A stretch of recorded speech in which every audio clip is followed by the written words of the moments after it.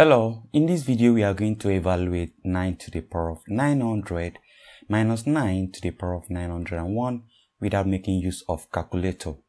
So we have 9 to the power of 900 minus 9 to the power of, we can as well rewrite this as 900 plus 1. So the next thing is for us to make use of this known identity. If you have a to the power of m plus n. This equals a to the power of m times a to the power of n. So we apply this identity right here. And what we are going to have is 9 to the power of 900 minus we have 9 to the power of 900 times 9 to the power of 1. So right now, we have 9 to the power of 900 here and we have 9 to the power of 900 here. They are simply the same, so we can factor that out. So we bring out 9 to the power of 900. And what we have here is, if you divide 9 to the power of 900 by 9 to the power of 900, you are going to have 1. Then we have minus, if you divide what we have here, 9 to the power of 900 times 9 to the power of 1, by 9 to the power of 900, you are simply going to have 9 to the power of 1. So we go ahead, that means we are going to have 9 to the power of 900 into this 9 to the power of 1 here is simply 9. So we are going to have 1 minus 9. So we go ahead and this will give us 9 to the power of 900 into 1 minus 9 is simply negative 8. So, what we are going to do is to multiply this out. This will give us, if you take out this negative sign here, you are going to have minus 9 to the power of 900 times 8. So, what do we do? 9 here is a perfect square, so we can as well have this as negative 3 to the power of 2, which is 9, all to the power of 900. And we can as well rewrite this 8 here as 2 to the power of 3. Now, let's apply one known identity right here. If you have a to the power of n, all to the power of m, this equals a to the power of n times m.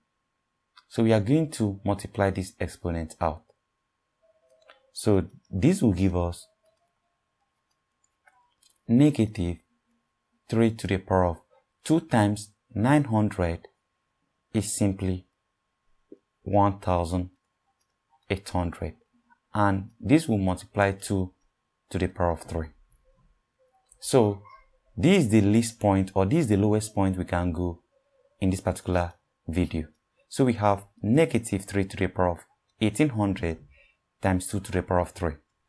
Now we have another similar problem. Now let's consider this. If you have 2 to the power of 99 minus 2 to the power of 98, what will be your answer? So we make use of the same similar approach we can rewrite this as 2 to the power of 98 plus 1 minus 2 to the power of 98. Now we make use of this identity as we have used before. If you have a to the power of n plus m, this simply equals a to the power of n times a to the power of m. So we apply this identity right here and this will give us 2 to the power of 98 times 2 to the power of 1 minus 2 to the power of 98. So, like what we did before, 2 to the power of 98 is here and 2 to the power of 98 is here. We simply factor that out. So this will give us 2 to the power of 98 into, this is 2 to the power of 1 and when you divide 2 to the power of 98 by 2 to the power of 98, you are simply going to have 1. So this is minus 1. Now, this simply will give us 2 to the power of 1 is 2, so we have 2 to the power of 98 into 2 minus 1. And if you concentrate on what we have inside this bracket, 2 minus 1 is 1. So this will give us 2 to the power of 98 into 1. And this equals 2 to the power of 98.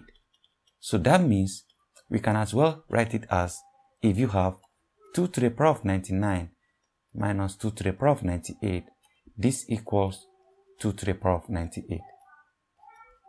Now, there's also another problem that is also very similar to this.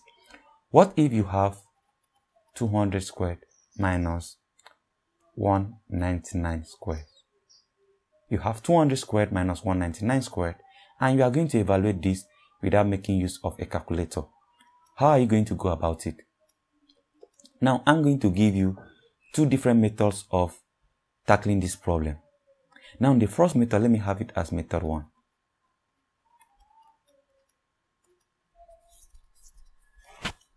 Now, this is 200 squared.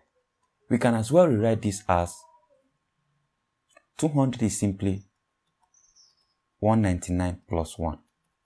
200 is 199 plus 1 and this is all to the power of 2. This and this are the same thing. Then we have minus 199 squared. Now, this is in the form of, let me go further. This is in the form of a plus b and to the power of 2. What we have here is in this form. Now, if you expand this, you are going to have a squared plus 2ab plus b squared. And in this case, a equals 199 and b equals 1. So if you insert what we have inside this bracket into this identity, what you are going to have is we have 199 squares, then plus 2ab, that is 2 times 199, then times 1, then we have plus 1 square, that is b square. Then remember we have minus sign here, we have minus 199 power 2.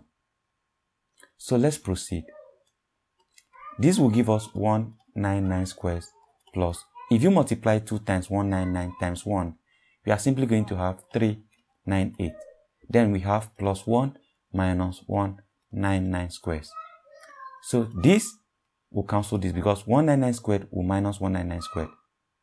So what we have left is simply 398 plus 1. And 398 plus 1 is 399.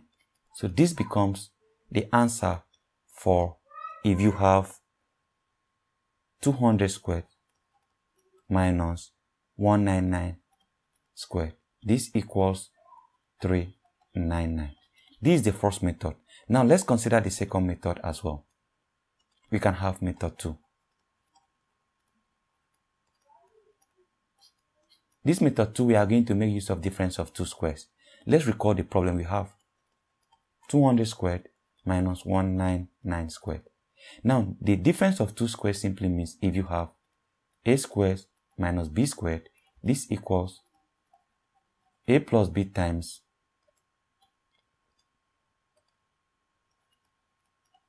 a minus b. And in this case, our a equals 200 and b equals 199. So what we are going to do is to insert where we have a 200 and insert where we have b 199. So that means we are going to have this gives us a plus b. We have 200 plus 199 and a minus b we have 200 minus 199 and 200 plus 199 is simply 399 and 200 minus 1 is 1 sorry 200 minus 199 is 1 now, if you multiply 399 by 1, you are simply going to get 399. And this becomes the answer as well. This is very simple and it corresponds to what we had before. So that is it for the video. Thank you and goodbye.